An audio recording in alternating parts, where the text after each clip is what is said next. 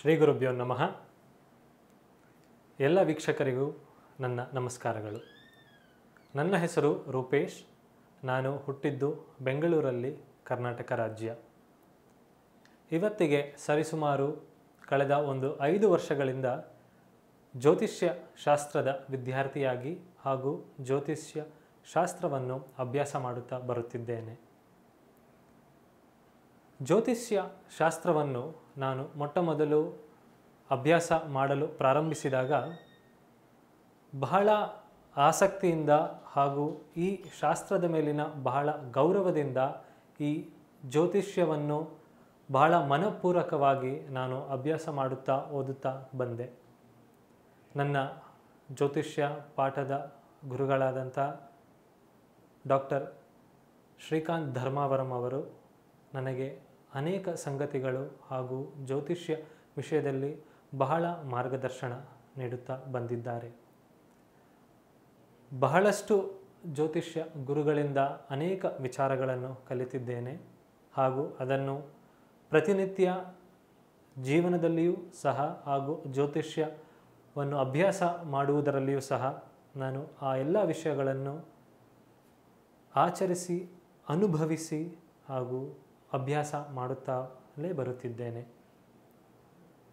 ನಮ್ಮಲ್ಲಿ ಜ್ಯೋತಿಷ್ಯ ಶಾಸ್ತ್ರದ ಅನೇಕ ಜ್ಯೋತಿಷಿಗಳು ಈ ಶಾಸ್ತ್ರವನ್ನು ತಮ್ಮದೇ ಆದಂತಹ ಒಂದು ವಿಶೇಷ ಶೈಲಿಯಲ್ಲಿ ಅಭ್ಯಾಸ ಮಾಡುತ್ತಾ ಬಂದಿದ್ದಾರೆ. ಬಹಳಷ್ಟು ಪೂಜನೀಯ ಸ್ಥಿತಿಯಲ್ಲಿ ಇರುವಂತಹ ಅನೇಕ ಜ್ಯೋತಿಷ್ಯರು ಈ ಶಾಸ್ತ್ರವನ್ನು ಬಹಳ ಉನ್ನತ ಸ್ಥಾನಕ್ಕೆ ಹಾಗೂ ಮನುಕುಲದ ಒಳಿತಿಗಾಗಿ ನಮಗೆಲ್ಲರಿಗೂ ಒಂದು ಉಡುಗೊರೆಯಾಗಿ ನೀಡಿ ಹೋಗಿದ್ದಾರೆ. ಇದರಲ್ಲಿ ಅನೇಕ ಅನೇಕ ಜ್ಯೋತಿಷಿಗಳಿದ್ದಾರೆ.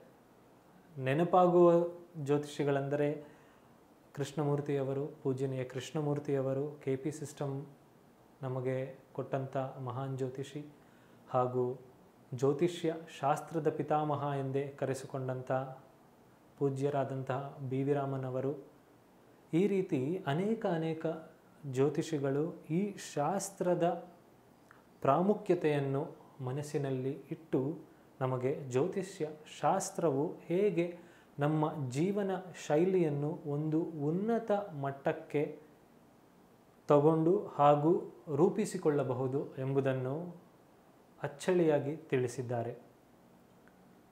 ಸೊ ನನ್ನ ಜ್ಯೋತಿಷ್ಯ ಅಭ್ಯಾಸದ ಪ್ರಾರಂಭಿಕ ದಿನಗಳಲ್ಲಿ ಎಲ್ಲರೂ ಅಭ್ಯಾಸ ಮಾಡುವಂತಹ ನಾನು ಟ್ರೆಡಿಷ್ನಲ್ ಮೆಥಡ್ ಅಂದರೆ ಪಾರಂಪರಿಕವಾದಂಥ ಜ್ಯೋತಿಷ್ಯ ಶಾಸ್ತ್ರವನ್ನು ಅಭ್ಯಾಸ ಮಾಡುತ್ತಾ ಬರುತ್ತಿದ್ದೇನೆ, ಬರುತ್ತಿದ್ದೆ. ಇದರಲ್ಲಿ ನಾನು ನಾಡಿ ಸಿಸ್ಟಮ್ ನಾಡಿ ಪ್ರಕಾರದ ಜ್ಯೋತಿಷ್ಯ ಶಾಸ್ತ್ರವು ಕೆ ಪಿ ಪ್ರಕಾರದ ಜ್ಯೋತಿಷ್ಯ ಶಾಸ್ತ್ರವನ್ನು ಸಹ ಜೊತೆ ಜೊತೆಯಾಗಿ ಅಭ್ಯಾಸ ಮಾಡುತ್ತಲೇ ಬರುತ್ತಿದ್ದೆ. ಈ ರೀತಿ ನನ್ನ ಜ್ಯೋತಿಷ್ಯ ಶಾಸ್ತ್ರದ ಅಭ್ಯಾಸ ಪ್ರಾರಂಭವಾಯಿತು ಹಾಗೂ ಅನೇಕ ಗುರುಗಳಿಂದ ತುಂಬ ಮಾರ್ಗದರ್ಶನವೂ ಸಹ ಸಿಕ್ಕಿತು. ನನ್ನ ಈ ಜ್ಯೋತಿಷ್ಯ ಶಾಸ್ತ್ರದ ಅಭ್ಯಾಸ ಈ ಪಯಣದಲ್ಲಿ ಬಹಳ ಇತ್ತೀಚೆಗೆ, ಸರಿಸುಮಾರು ಕಳೆದ ಒಂದು ಒಂದೂವರೆ ವರ್ಷದ ಹಿಂದೆಗೆ ಒಂದು ವಿಶೇಷವಾದಂತಹ ಒಂದು ಸೂತ್ರದ ಬಗ್ಗೆ ಕೇಳ್ಪಟ್ಟೆ. ಈ ಸೂತ್ರದ ಹೆಸರು ಅಕ್ಷಯ ಲಗ್ನ ಪದ್ಧತಿ. ಬಹಳ ಪ್ರಾರಂಭಿಕವಾಗಿ ನಾನು ಈ ಸೂತ್ರದ ಬಗ್ಗೆ ಕೇಳ್ಪಟ್ಟಾಗ, ಈಗ ಆಲ್ರೆಡಿ ನಾನು ಜ್ಯೋತಿಷ್ಯ ಶಾಸ್ತ್ರವನ್ನು ಹಾಗೂ ಅನೇಕ ವಿಧವಾದಂತಹ ಬೇರೆ ಪದ್ಧತಿಗಳನ್ನು ಅಭ್ಯಾಸ ಮಾಡುತ್ತಿದ್ದ ಕಾರಣದಿಂದಾಗಿ ಇದರ ಕಡೆ ಹೆಚ್ಚು ಗಮನ ಹಾಗೂ ಒಲವು ನನ್ನಲ್ಲಿ ಮೂಡಲಿಲ್ಲ. ಸೊ ಆದ್ದರಿಂದ ನಾನು ಪ್ರಾರಂಭಿಕವಾಗಿ ಇದನ್ನು ಕೇಳ್ಪಟ್ಟಾಗ ಅಷ್ಟು ಆಸಕ್ತಿ ತೋರದೆ ನನ್ನ ನಾರ್ಮಲ್ಲಾಗಿ ಏನು ನಾನು ಅಭ್ಯಾಸ ಮಾಡುತ್ತಾ ಬಂದೇನೋ, ಇದರ ಹಾದಿಯಲ್ಲೇ ನನ್ನ ಅಭ್ಯಾಸ ಮುಂದುವರಿ, ಮುಂದುವರಿಯುತ್ತಾ ಹೋಗುತ್ತಿತ್ತು. ಒಂದು ದಿನ ಈ ಅಕ್ಷಯ ಲಗ್ನ ಪದ್ಧತಿಯ ಒಂದು ಸೆಮಿನಾರ್ ಬೆಂಗಳೂರಲ್ಲಿ ಪ್ರಾರಂಭವಾಗಿದೆ, ಪ್ರಾರಂಭವಾಗುತ್ತಿದೆ ಎಂದು ಕೇಳ್ಪಟ್ಟೆ.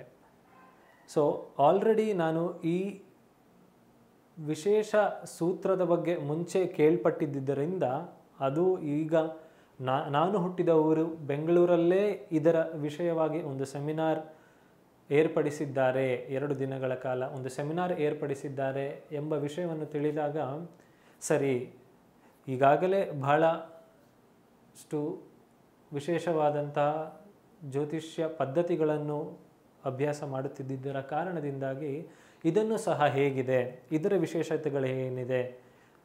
ಅಕ್ಷಯ ಲಗ್ನ ಪದ್ಧತಿ ಎಂಬುದು ಜ್ಯೋತಿಷ್ಯದಲ್ಲಿ ಯಾವ ಒಂದು ವಿಶೇಷ ವಿಷಯವನ್ನು ನಮಗೆ ತಿಳಿಸಿಕೊಡುತ್ತದೆ ಎಂಬುದರ ಸಲುವಾಗಿ ಒಂದು ಸಣ್ಣ ಪ್ರಮಾಣದ ಆಸಕ್ತಿಯಿಂದ ಆ ಸೆಮಿನಾರ್ಗೆ ನಾನು ಸಹ ನೋಂದಾಯಿಸಿಕೊಂಡೆ. ಆ ಸೆಮಿನಾರನ್ನು ಅಟೆಂಡ್ ಮಾಡಿದ ದಿನ ಜ್ಯೋತಿಷ್ಯ ಶಾಸ್ತ್ರದ ಒಂದು ಮಹಾನ್ ಎನ್ಸೈಕ್ಲೋಪೀಡಿಯಾವನ್ನು ನೋಡಿದಂತಹ ಒಂದು ವಿಶೇಷ ಅನುಭವ. ಏಕೆಂದರೆ ಈ ಅಕ್ಷಯ ಲಗ್ನ ಪದ್ಧತಿಯನ್ನು ಕಂಡು ಹಿಡಿದವರು ನಮ್ಮ ತಮಿಳುನಾಡು ರಾಜ್ಯದ ಒಂದು ಬಹಳ ವಿಶೇಷ, ವಿನೂತನ ಹಾಗೂ ಬಹಳ ಪ್ರಮುಖವಾದಂಥ ಒಬ್ಬ ಜ್ಯೋತಿಷಿಗಳು, ಅವರ ಹೆಸರು ಎಸ್. ಪದುವುಡೈ ಮೂರ್ತಿ. ಇವರು ಸರಿಸುಮಾರು ಇಪ್ಪತ್ತು ವರ್ಷಗಳ ಕಾಲ ಜ್ಯೋತಿಷ್ಯ ಶಾಸ್ತ್ರವನ್ನು ಬಹಳ ಕ್ರಮಬದ್ಧವಾಗಿ ಅಭ್ಯಾಸ ಮಾಡಿ ಹಾಗೂ ಅದನ್ನು ಅತಿ ಹೆಚ್ಚು ಸುಲಭ ರೀತಿಯಲ್ಲಿ ಎಲ್ಲರಿಗೂ ಅರ್ಥವಾಗುವಂತಹ ಒಂದು ವಿಶೇಷ ಸೂತ್ರವನ್ನು ನಮಗೆಲ್ಲರಿಗೂ ಉಡುಗೊರೆಯಾಗಿ ಕೊಟ್ಟಿದ್ದಾರೆ. ಆ ಸೂತ್ರದ ಹೆಸರೇ ಅಕ್ಷಯ ಲಗ್ನ ಪದ್ಧತಿ. ಈ ಅಕ್ಷಯ ಲಗ್ನ ಪದ್ಧತಿಯು ಬಹಳ ವಿಶೇಷವಾದಂತಹ ಒಂದು ಸೂತ್ರ. ಜಾತಕವನ್ನು ಈ ಸೂತ್ರದ ಮುಖಾಂತರ ಪರಿಶೀಲನೆ ಮಾಡಿದಾಗ ಸುಲಭವಾಗಿ ಜಾತಕವನ್ನು ಅರ್ಥೈಸಿಕೊಳ್ಳುವಂತಹ ಒಂದು ವಿಶೇಷ ಸೂತ್ರವಾಗಿದೆ ಅಕ್ಷಯ ಲಗ್ನ ಪದ್ಧತಿ. ನಾನು ಆ ಸೆಮಿನಾರನ್ನು ಎರಡು ದಿನಗಳ ಕಾಲ ಅಟೆಂಡ್ ಮಾಡಿದ ಮೇಲೆ ಈ ಸೂತ್ರದ ಬಗ್ಗೆ ತುಂಬ ಹೆಚ್ಚು ಆಸಕ್ತಿ ಹಾಗೂ ಬಹಳ ಹೆಚ್ಚು ಒಲವು ನನ್ನಲ್ಲಿ ಮೂಡಿತು. ಇದರ ಕಾರಣ ಏನಿದೆ ಅಂದರೆ, ಈ ಸೂತ್ರದಲ್ಲಿರುವಂತಹ ಪ್ರಿಸೈಸ್ಡ್ ಲೆವೆಲ್ ಆಫ್ ಮ್ಯಾಥಮ್ಯಾಟಿಕ್ಸ್ ಅಂದರೆ ಬಹಳ ತೀಕ್ಷ್ಣ ಸೂಕ್ಷ್ಮವಾದಂತಹ ಗಣಿತ ಹಾಗೂ ಇದರ ಇನ್ನೊಂದು ವಿಶೇಷವೇನೆಂದರೆ ಜನ್ಮ ಲಗ್ನದ ಪ್ರಯಾಣ. ಅಕ್ಷಯ ಲಗ್ನ ಪದ್ಧತಿಯು ಜನ್ಮ ಲಗ್ನದ ಪ್ರಯಾಣದ ಕುರಿತು ನಮಗೆ ಮಾಹಿತಿ ನೀಡುತ್ತದೆ.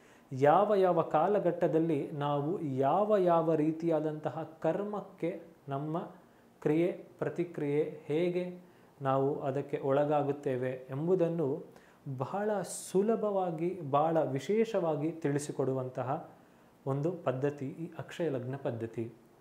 ಸೊ ಇದರ ಎಲ್ಲ ವಿಸ್ತಾರವಾದಂತಹ ವಿಚಾರಗಳು ನನಗೆ ಆ ಎರಡು ದಿನಗಳ ಕಾಲ ಅಟೆಂಡ್ ಮಾಡಿದಂಥ ಸೆಮಿನಾರಲ್ಲಿ ಬಹಳ ವಿಶೇಷವಾಗಿ ನಾನು ಕಂಡುಕೊಂಡೆ. ಅರ್ಥ ಮಾಡಿಕೊಳ್ಳಿಕ್ಕೆ ತುಂಬ ಅಂದರೆ ತುಂಬ ಕಾಲಾವಕಾಶ ಸಮಯ ತಗೊಂತು. ಇನ್ನೂ ಹೇಳಬೇಕಂದ್ರೆ ಇವತ್ತಿನವರೆಗೂ ಇನ್ನೂ ಆ ವಿಶೇಷ ಸೂತ್ರವನ್ನು ಅಭ್ಯಾಸ ಮಾಡುತ್ತಲೇ, ಕಲಿಯುತ್ತಲೇ ಹೋಗಿ, ಕಲಿಯುತ್ತಿದ್ದೇನೆ. ಆದರೆ ಆ ಎರಡು ದಿನಗಳ ಕಾಲ ಈ ಪದ್ಧತಿಯ ಒಂದು ವಿಶೇಷತೆ ಹಾಗೂ ಈ ಪದ್ಧತಿ ಯಾವ ರೀತಿ ಒಂದು ಜಾತಕವನ್ನು ವಿಮರ್ಶೆ ಮಾಡಿ ಯಾವ ರೀತಿ ಒಂದು ಫಲಿತಾಂಶಗಳನ್ನು ಕೊಡುತ್ತದೆ ಎಂಬುದನ್ನು ಬಹಳ ಸುಲಭವಾಗಿ ತಿಳಿಸಿಕೊಟ್ಟವರು ಎಸ್ ಮೂರ್ತಿ ಈ ಸೂತ್ರದ ಮುಖಾಂತರ ನಾವು ತುಂಬ ಸುಲಭವಾಗಿ ಜಾತಕವನ್ನು ವಿಮರ್ಶೆ ಮಾಡಬಹುದು. ಈ ಸೂತ್ರವನ್ನು ಯಾರೆಲ್ಲ ಅಭ್ಯಾಸ ಮಾಡುತ್ತಾರೋ ಅವರೆಲ್ಲರೂ ಒಂದೇ ರೀತಿಯಾದಂಥ ಫಲಿತಾಂಶವನ್ನು ಕೊಡುವಂತಹ ಏಕೈಕ ಗಣಿತದ ಒಂದು ಮ್ಯಾಥಮ್ಯಾಟಿಕಲ್ ಲಾಜಿಕ್ ಹೊಂದಿರುವಂತಹ ಸೂತ್ರ ಅಕ್ಷಯ ಲಗ್ನ ಪದ್ಧತಿ. ಈ ಅಕ್ಷಯ ಲಗ್ನ ಪದ್ಧತಿಯು ಇವತ್ತಿನ ಪ್ರೆಸೆಂಟ್ ಟ್ರೆಂಡ್. ಇವತ್ತಿನ ಜೀವನ ಶೈಲಿಗೂ ಹಾಗೂ ಇವತ್ತಿನ ನಮ್ಮ ಜ್ಯೋತಿಷ್ಯ ಶಾಸ್ತ್ರಕ್ಕೆ ಬಹಳನೇ ಅಗತ್ಯವಿರುವಂತಹ ಒಂದು ವಿಶೇಷ ಸೂತ್ರ. ಈಗಾಗಲೇ ಬಹಳಷ್ಟು ಜನ ಈ ಸೂತ್ರದ ಮುಖಾಂತರ ಜಾತಕವನ್ನು ಪರಿಶೀಲನೆ ಮಾಡಿಸಿಕೊಂಡು ತಮ್ಮ ಜೀವನದಲ್ಲಿ ಅನೇಕ ರೀತಿಯಾದಂತಹ ಅಚ್ಚರಿಗಳು ಹಾಗೂ ತಮ್ಮ ಜೀವನವನ್ನು ಒಂದು ಹೊಸ ವಿನೂತನವಾದಂತಹ ರೀತಿಯಲ್ಲಿ ಈ ಅಕ್ಷಯ ಲಗ್ನ ಪದ್ಧತಿಯ ಮುಖಾಂತರ ಅನೇಕರು ಅನೇಕ ವಿಧವಾದಂತಹ ಅಚ್ಚರಿಗಳನ್ನು ಹಾಗೂ ತಮ್ಮ ಜೀವನ ಶೈಲಿಯನ್ನು ಬಹಳ ಚೆನ್ನಾಗಿ ರೂಪುಗೊಳಿಸಿಕೊಂಡಿದ್ದಾರೆ. ಈ ಅಕ್ಷಯ ಲಗ್ನ ಪದ್ಧತಿಯ ಬಗ್ಗೆ ಇನ್ನೂ ಹೆಚ್ಚು ಹೆಚ್ಚು ವಿಚಾರಗಳನ್ನು ಮುಂದಿನ ಸಂಚಿಕೆಯಲ್ಲಿ ನೋಡುತ್ತಾ ಬರೋಣ. ಅಲ್ಲಿಯವರೆಗೂ ಧನ್ಯವಾದಗಳು.